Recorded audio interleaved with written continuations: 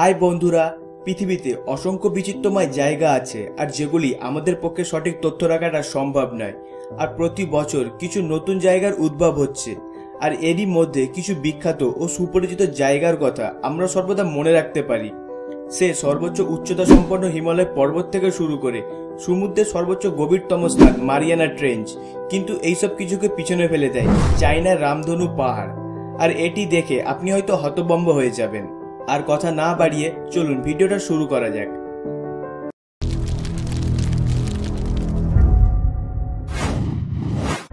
চাইনার অ্যান্ডেস পেরুতে অবস্থিত rainbow mountain, আর এটিকে ভিনিকানকা নামেও ডাকা হয়। এই পাহাড়টি সমুদ্রপৃষ্ঠ থেকে পাঁচ হাজার দুশো মিটার উচ্চতায় অবস্থিত, আর এটি বিস্তৃত রয়েছে দুশো স্কোয়ার মাইল এরিয়া নিয়ে। এই বিরল পাহাড় তার সৌন্দর্য দিয়ে প্রতি বছর অনেক ট্যুরিস্টকে আকৃষ্ট করে। দূর দূরান্ত পর্যন্ত বিস্তৃত, তার এই রামধনু রং নিয়ে।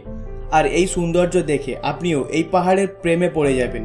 যদি আপনি প্রথমবার এই পাহাড়কে দেখে থাকেন, তাহলে আপনার মনে হতে পারে, এটি বিশাল ক্যানভাসে আঁকা কোনো ছবি। আর হয়তো মনে হতে পারে, রামধনু তার রং ছড়িয়ে দিয়েছে এই পাহাড়ের উপর। কিন্তু বিশ্বাস করুন, পাহাড়টি সত্যি অসাধারণ। পৃথিবীতে এই একটাই পাহাড় আছে, যার এই বিরল প্রকৃতির আচরণ। এখন হয়তো আপনার মাথায় প্রশ্ন আসবে যে কীভাবে আসলো পাহাড়ের গায়ে এই রং?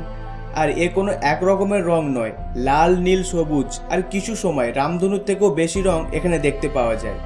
পাহাড়টি তৈরি হয়েছে বেলে পাথর আর পলি পাথর দিয়ে, আর এদের সঙ্গে রয়েছে আয়রন অক্সাইড, আয়রন সালফাইড এবং ক্লোরাইডস।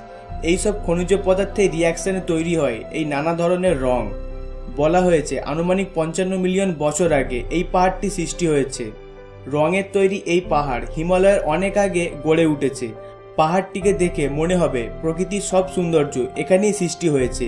পাহাড়টির এই বিরল প্রকৃতির আকৃতি তৈরি হয়েছে বাতাস ও ক্রমশ ক্ষয়ের ফলে। পাহাড়টির সর্বকালের রং হল লাল বালি পাথর। ইউনেস্কো দু হাজার দশ সালে এটিকে বিশ্ব ইতিহাসের অংশ হিসাবে ঘোষণা করে। এই রামধনু পাহাড় বিভিন্ন সময় বিভিন্ন ধরনের ক্যারেক্টার ফুটিয়ে তোলে। পাহাড়ের গায়ে কখন কি রং হবে সেটা বলাটা খুবই অসম্ভব। সো, রামধনুকে কাছ থেকে দেখতে এবং রামধনুর রং গায়ে মাখতে একবার হলেও এই পাহাড়টিতে ঘুরতে যাবেন। বন্ধুরা, আজকের ভিডিও এখান পর্যন্ত। আপনি যদি আমাদের চ্যানেলে নতুন ভিওর হয়ে থাকেন, তাহলে অবশ্যই আমাদের অদ্ভুত নলেজ চ্যানেলটিকে সাবস্ক্রাইব করবেন এবং পাশে থাকা বেল আইকনটি প্রেস করে রাখবেন। আর ভিডিওটা লাইক শেয়ার এবং কমেন্ট করতে ভুলবেন না। Stay happy enjoy all the movement Mm-hmm.